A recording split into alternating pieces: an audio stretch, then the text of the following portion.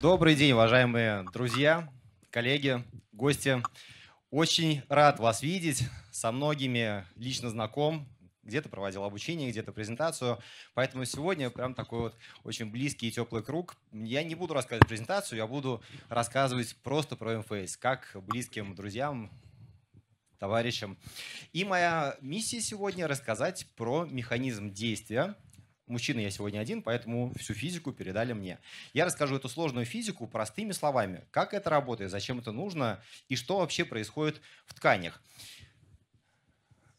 В аппликаторах, которые используются в аппарате, две энергии. Одна из них это синхронизированный РФ, другая технология HFS. Они работают одномоментно, и в этом очень важный принципиальный смысл данной методики – мы разберем каждую энергию по отдельности, соединим, получим аппарат M-Phase. И что будет делать в тканях, я тоже, конечно, расскажу. Итак, первая энергия – это синхронизированный РФ. То есть радиочастотное воздействие, радиофреквенси – это все синонимы одного и того же. Методика, которая в эстетике много-много-много лет. И все ее механизмы, они очень ясны, понятны, все эффекты прогнозируемые. Методика очень много претерпевала изменений монополярные, биполярные, игольчатый РФ, есть э, РФ с инфракрасным воздействием, с магнитной стимуляцией. То есть много модификаций. Энергия, ее можно назвать золотым стандартом в эстетике. Поэтому она здесь используется. Это монополярный РФ. И мы будем нагревать все слои нашей кожи. Будем нагревать подкожную клетчатку и мышцы до определенной температуры. Что нам нужно получить? В нормальном слое мы достигаем температуру 40-42 именно она запустит синтез нового коллагена. Это нам дает повышение плотности кожи, повышает упругость наших тканей, работает с морщинами на их уменьшение и дает лифтинг-эффект. Стандартные эффекты, которые мы ожидаем от РФ-воздействия. Мы идем дальше. От дермального слоя мы спускаемся ниже, слой подкожевой клетчатки. Изначально, когда аппарат появился, э, было два аппликатора. Это для щек и для области лба. Затем появился аппликатор Субментум, работающий с нижней третью лица. И вот э, в средней трети лица и в области лба температура в подкожевой клетчатке до 42. То есть да, мы нагреваем этот слой, но как-то его видоизменять задача абсолютно не стоит. Потому что мы понимаем, что жировая ткань – это как подушка безопасности. И при скелетизации лица она будет давать определенные объемы. Поэтому не нужно колоть липолитики в лицо, не нужно удалять комки беша. И все эти этапы уже проходили в свое время, получили негативный опыт, поэтому с жировой тканью нужно работать очень деликатно. И здесь температура воздействия до 42 градусов, которая апоптоз не вызывает. Но в подкожевой клетчатке мы помним, что есть ресинакулюм кутис. То есть это коллагеновые перемычки, поэтому воздействуя именно на ретинакулюм кутис, мы опять же получаем дополнительный лифтинг-эффект. Спускаемся еще ниже, слой смаз. Температура воздействия аналогично, где в нормальном слое мы запускаем синтез коллагена, будет давать лифтинг-эффект. И мы достигаем мышечного слоя. Температура в этом слое где-то будет 39,5 градусов до 40, возможно. И это необходимо, потому что происходит дополнительный выброс белков теплового шока. И э, при работе аппарата M-Sculpt Neo уже было доказано, что когда э, разогретая, она лучше откликается на стимуляцию током. То есть деление миоядер происходит намного интенсивнее, намного активнее. Поэтому мышцы нагревать в данном случае необходимо. В аппарате есть система контроля потока энергии. Так как это монополярная методика, аппарат считывает, как быстро проходит ток от активного аппликатора к пассивному. И в зависимости от этого, в зависимости от э, степени гидратации тканей, то есть насколько кожа увлажненная или нет, он подает определенную выходную энергию. И, конечно, аппарат может немного ее подрегулировать, что тоже очень важно. Ведь процедура длится 20 минут, и в течение 20 минут энергия, она подается постоянно. То есть важно, чтобы ткани, с одной стороны, получили необходимую энергию, а с другой стороны, чтобы не было перегревания тканей. Конечно, все исследования они проводились. У аппарата имеется одобрение FDA, то есть методика, помимо того, что она эффективная, она и безопасная, и это имеет определенное подтверждение. На графике перед вами э, температура в определенных слоях кожи. Обратите внимание, что буквально на первой-второй минуте температура достигает целевых значений. То есть мы очень быстро запускаем необходимые нам эффекты.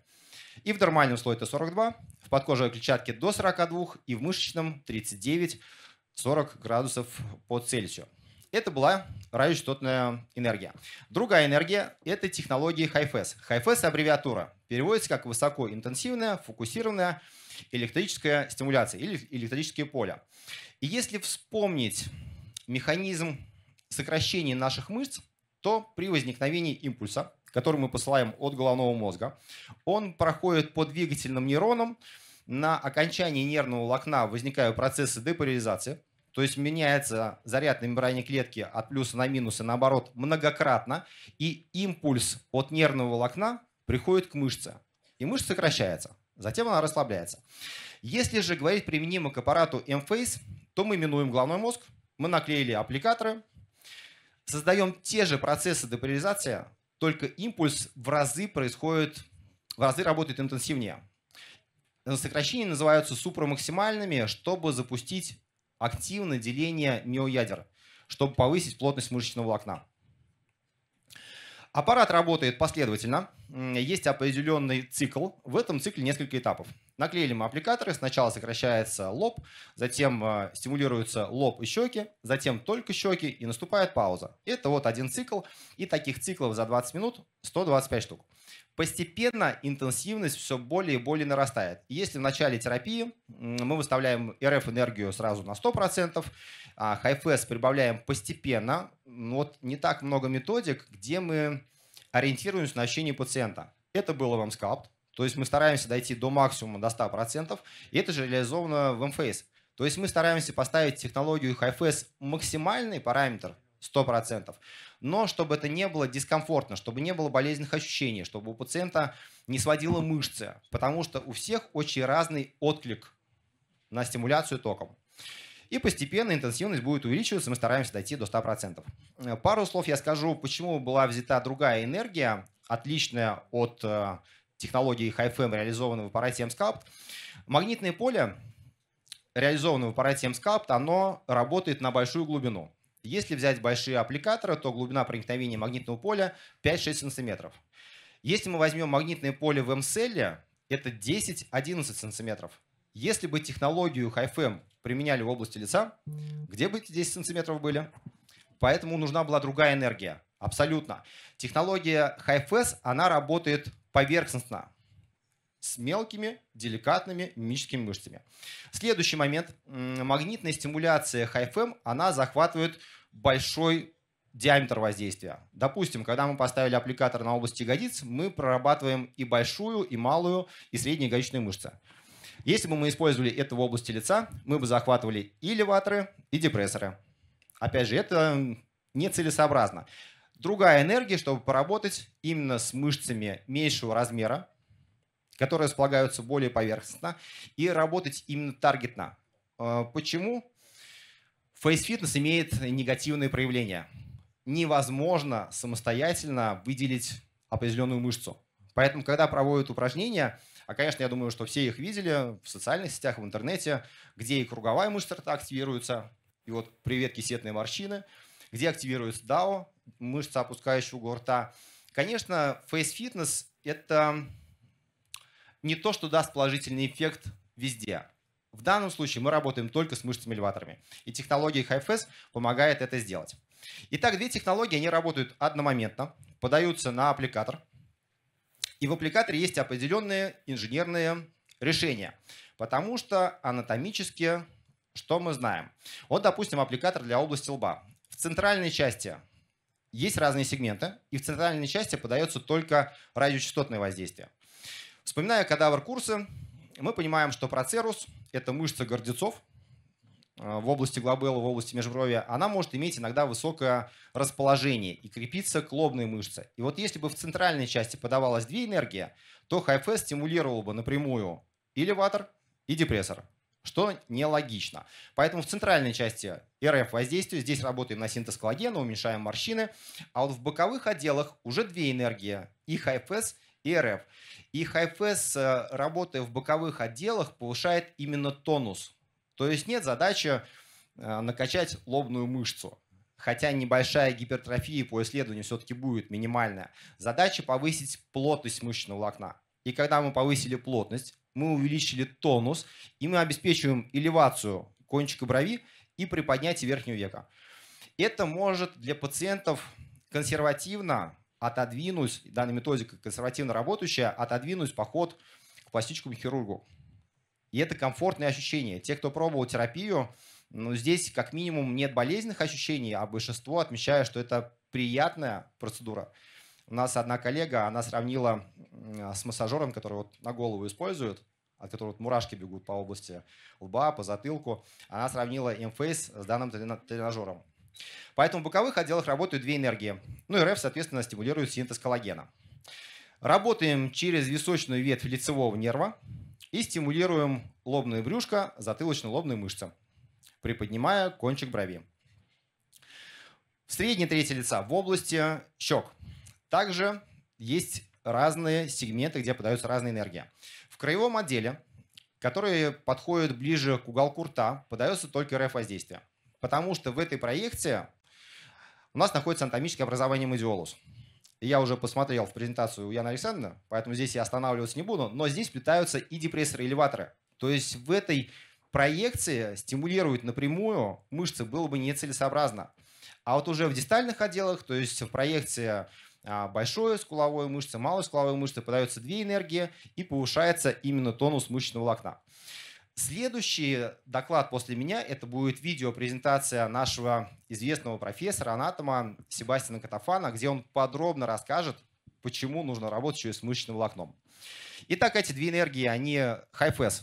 HIFS стимулирует а, скуловую ветвь и щечную ветвь лицевого нерва, работая именно с большой скуловой мышцей, малой скуловой мышцей и мышцей смеха мускулюс резориус. Особенность мимических мышц в том, что они начинаются от кости, одно, одна точка крепления, и пронизывая, по сути, все слои кожи, крепятся к верхним слоям.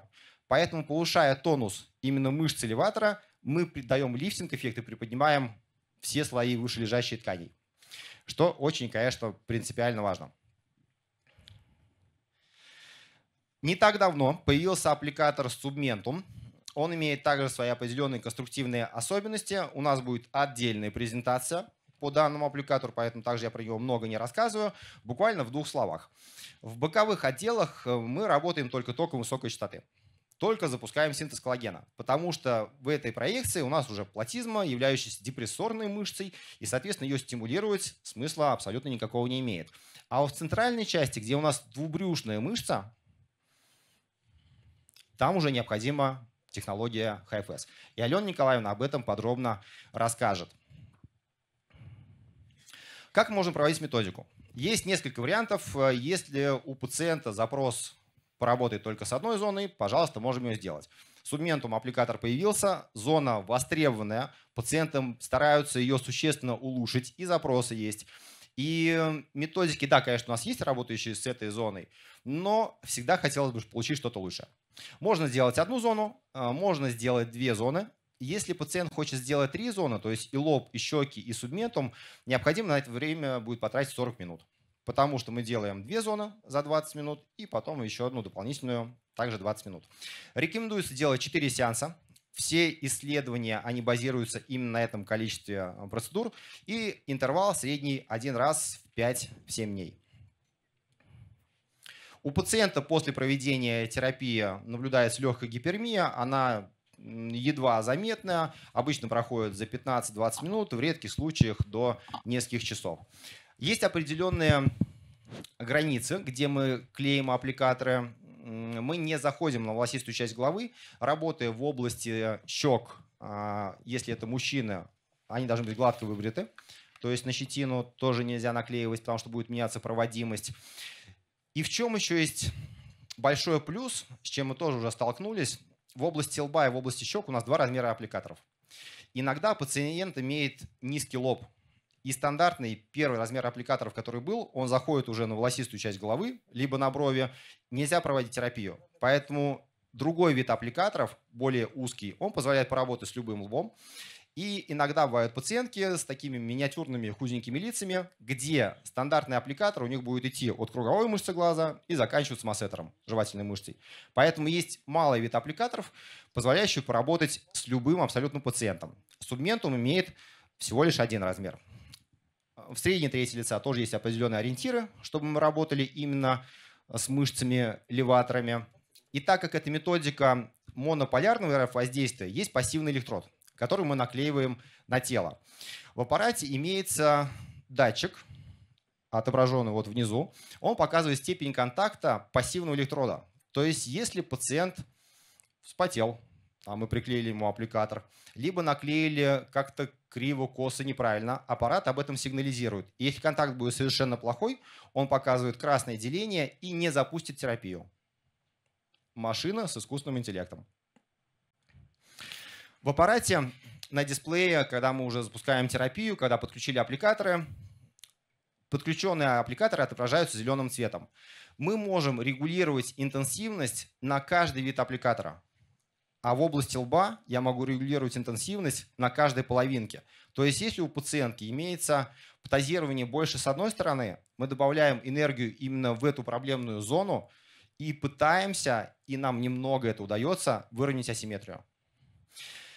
И в рамках этого хочу показать еще один кейс, который опубликован уже международно. Это журнал «Эстетика» 2023 год. Пациентка с парезом лицевого нерва после хирургического вмешательства. Вот такая вот картина получилась. Ей через а, определенное время инициировали ботулотоксин. То есть вторая фотография – это после введения токсина. В журнале описаны дозировки. И через 4 месяца после инициирования токсина ей провели процедуру на аппарате МФС. Лицо стало еще более симметричным, еще более гармоничным внешне. Поэтому, коллеги, на настоящий момент, конечно, МФС имеет только эстетические показания. Но понимая физику воздействия, как это работает в тканях, я думаю, что у МФС очень большое будущее. Спасибо за внимание.